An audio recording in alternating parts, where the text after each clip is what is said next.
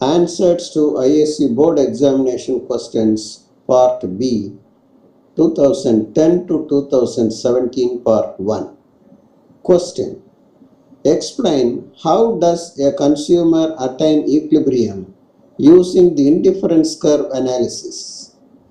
It is a 6 mark question. It appears in 2014. Similar question was asked in 2016.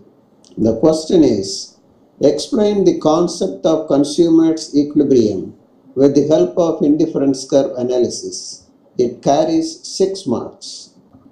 Answer Given the indifference map, income, and prices of the two goods, the consumer is in equilibrium when he gets the maximum possible satisfaction by reaching a highest possible indifference curve. When he is in equilibrium, he will not have any tendency to rearrange his budget. Three indifference curves are shown in the indifference map. The price line is obtained from the prices of the two goods and the income of the consumer. AB is the price line. At point C, the consumer is in equilibrium because at point C, the two equilibrium conditions are satisfied. They are condition 1.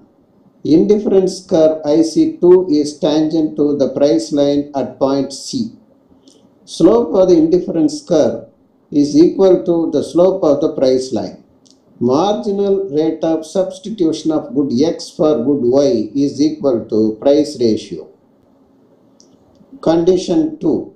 The indifference curve IC2 is convex towards the origin or marginal rate of substitution of good X for good Y is diminishing. At point E, consumer cannot be in equilibrium because the marginal rate of substitution of good X for good Y is greater than the price ratio. So, the consumer substitutes good X for good Y and reaches point C. At point F, consumer cannot be in equilibrium because the marginal rate of substitution of good X for good Y is less than the price ratio. So, consumer substitutes good Y for good X and reaches point C. At point D, the consumer cannot be in equilibrium because it is beyond the reach of the consumer. The consumer is in equilibrium at point C. Equilibrium combination is C. It consists of m units of good Y and n units of good X. In this answer, the key points are the maximum possible satisfaction, equilibrium point is C, conditions for equilibrium, slope of the indifference curve is equal to the slope of the price line.